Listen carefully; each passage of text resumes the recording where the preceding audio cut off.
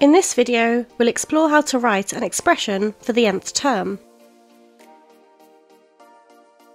Here is a sequence 5, 8, 11, 14, and 17.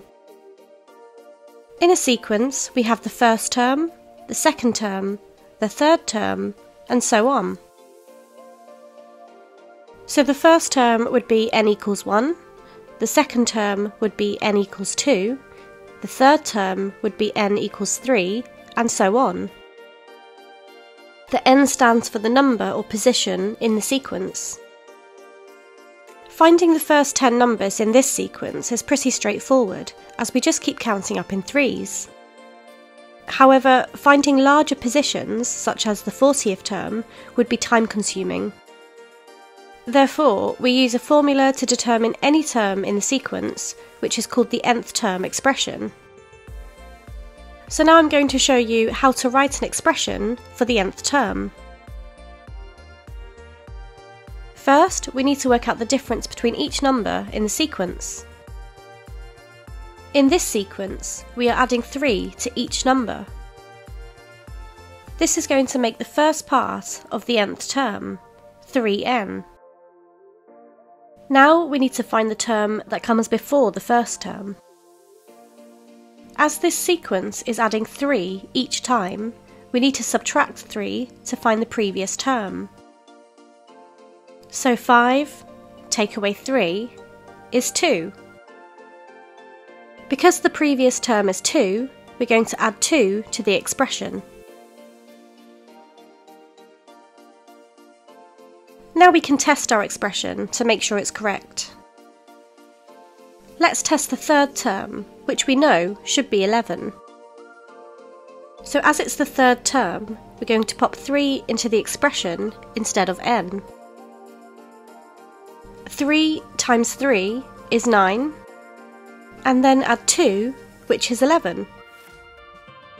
So the nth term expression was correct. We can use the nth term expression to find any term in the sequence. So now we can find the 40th term of the sequence by using 40 in place of n. 3 times 40 is 120, and then add 2 is 122. So the 40th term in this sequence is 122.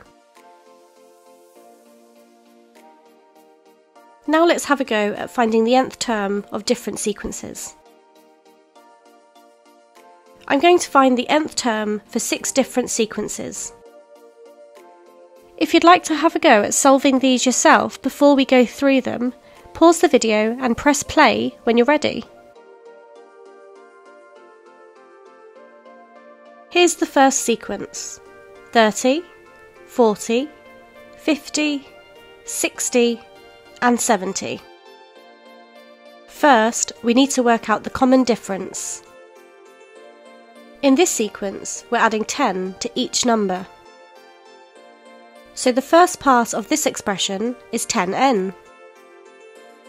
Now we need to find the term that comes before the first term. As this sequence is adding 10 each time, we need to subtract 10 to find the previous term. So 30 take away 10 is 20. So as the previous term was 20, we're going to add 20 to this expression. So the nth term expression for this sequence is 10n add 20. Here's the next sequence 1, 3, 5, 7, and 9. First, we need to work out the common difference.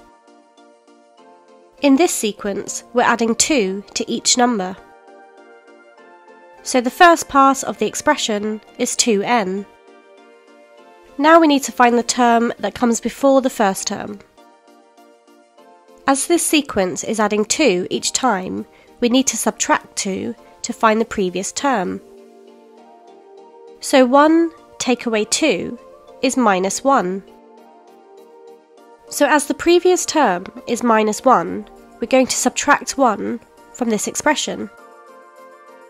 So the nth term expression for this sequence is 2n minus 1. Here's the next sequence 19, 15, 11, 7, and 3. First, we need to work out the common difference. In this sequence, we're subtracting 4 from each number. So the first part of this expression is minus 4n. Now we need to find the term that comes before the first term. As this sequence subtracts 4 each time, we need to add 4 to find the previous term. So 19 add 4 is 23. So as the previous term is 23, we're going to add 23 to the expression. So the nth term expression for this sequence is minus 4n add 23. Here's the next sequence 2, 7, 12, 17, 22. First, we need to work out the common difference. In this sequence, we're adding 5 to each number. So the first part of this expression is 5n. Now we need to find the term that comes before the first term. As this sequence is adding 5 each time, we need to subtract 5 to find the previous term. So 2 take away 5 is minus 3. So as the previous term is minus 3, we're going to subtract 3 from the expression. So the nth term expression for this sequence is 5n take away 3. Here's another sequence minus 4, minus 7, minus 10, minus 13, and minus 16. First, we need to work out the common difference. In this sequence, we're subtracting 3 from each number. So the first part of this expression is minus 3n. Now we need to find the term that comes before the first term. As this sequence is subtracting 3 each time, we need to add 3 to find the previous term. So minus 4 add 3 is minus 1. So as the previous term is minus 1, we're going to subtract 1 from the expression. So the nth term expression for this sequence is minus 3n take away 1. Here's the last sequence. Minus 6, minus 4, minus 2, 0, and 2. First, we need to work out the common difference. In this sequence, we're adding 2 to each number. So the first part of this expression is 2n. Now we need to find the term that comes before the first term. As this sequence is adding 2 each time, we need to subtract 2 to find the previous term. So minus 6 take away 2 is minus 8.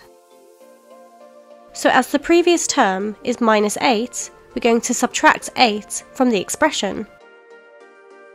So the nth term expression for this sequence is 2n take away 8. Now it's your turn.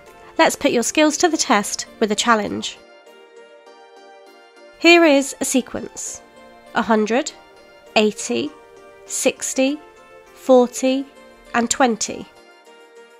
Your task is to find the nth term for this sequence.